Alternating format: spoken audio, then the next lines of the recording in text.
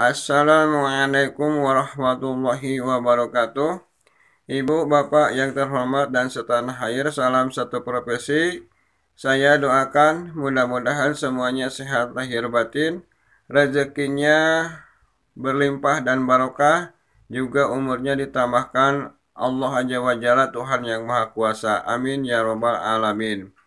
Saya ucapkan banyak terima kasih kepada semua pihak atas dukungannya dengan menekan subscribe dan men-share kepada yang lain. Semoga menjadi ladang amal kebaikan untuk kita semua. Amin ya robbal alamin.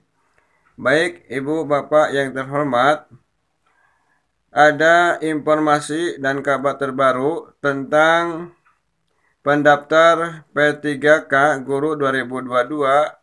Beberapa di antaranya menemukan kendala yakni nik tidak ditemukan pada laman SSC ASN. Hal ini tentu membuat pendaftar P3K 2022 heran sebab nik yang dimasukkan merupakan nik yang tepat. Kendala nik tidak ditemukan ini didapati beberapa pendaftar P3K 2022 tahun ini.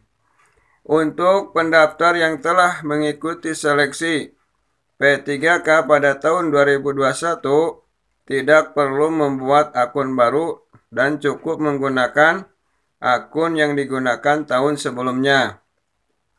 Kendala yang muncul ialah saat memasukkan nick, sistem membaca nick tidak ditemukan. Hal tersebut murni karena kesalahan teknis. Pelamar diminta untuk bersabar atau menghubungi helpdesk Kemendikbudristek untuk menemukan solusinya. Di salah satu postingan grup P3K juga disebutkan jika BKPSDM akan melakukan update dan menginformasikan kepada peserta yang nicknya tidak ditemukan.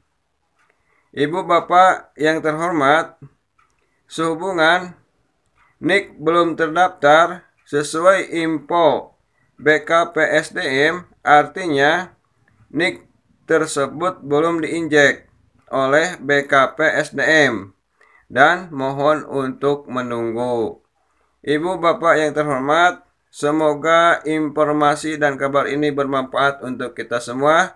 Assalamualaikum warahmatullahi wabarakatuh.